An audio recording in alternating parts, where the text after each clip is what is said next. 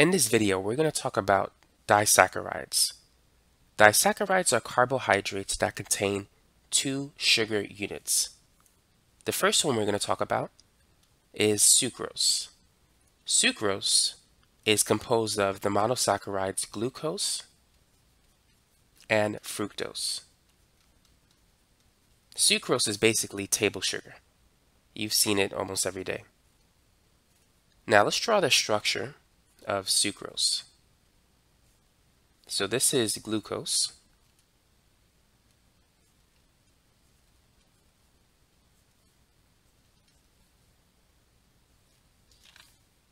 I'm going to draw this a little bit bigger so it's easier to see.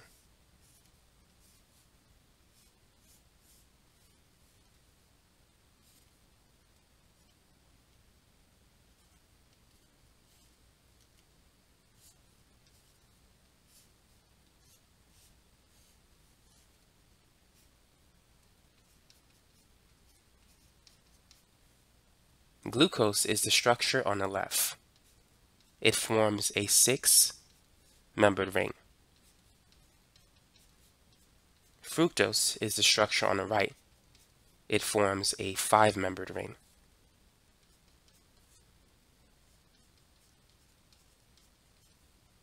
But both glucose and fructose contain six carbon atoms. They have the same chemical formula, C6 H12O6.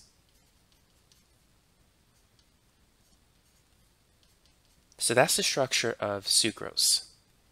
Now the bond that holds them together, that connects glucose and fructose, this is known as a glycosidic bond.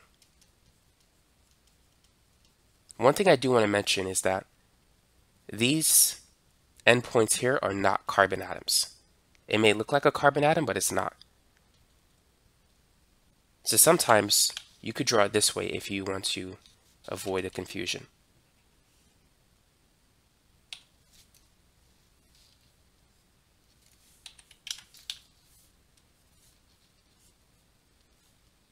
So now it doesn't look like a carbon atom. So that's how you can draw the structure of sucrose. To make sucrose, we need to combine glucose and fructose. They both have the same chemical formula, C6H12O6. The chemical formula for sucrose is C12H22O11. And the only thing that's missing to balance the equation is water.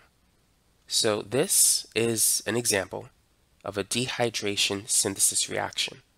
It's dehydration because we're losing water, but it's also a synthesis reaction because we're taking two smaller components, glucose and fructose, and we're synthesizing sucrose. Now, let's say if we were to start with sucrose and we were to add water into it.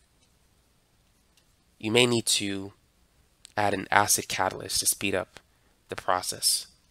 But sucrose plus water can go in reverse. It can break down into glucose and fructose. So in this direction, the reaction is no longer a dehydration synthesis reaction, but it's called a hydrolysis reaction. Hydro, we're using water. Lysis means to split apart. So we're using water to split apart sucrose into its component forms, glucose and fructose. Now, there are some other disaccharides that you need to be familiar with. One of them is lactose. Lactose is basically milk sugar.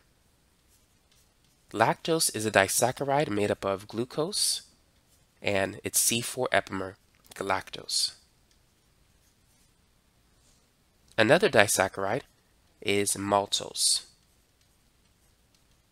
Maltose is composed of two units of glucose. So those are some disaccharides that you may need to be familiar with.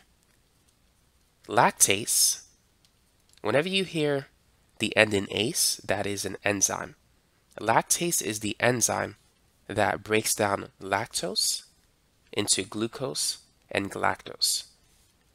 So notice the difference between lactose and lactase. Whenever you see the suffix ose, that tells you you're dealing with a carbohydrate. Think of glucose, fructose, galactose. It tells you it's a sugar. But if you hear the word ase, or the suffix ase, you're dealing with a protein-based enzyme. So that's it for this video. So now you're familiar with the three most common disaccharides, lactose, maltose, and sucrose.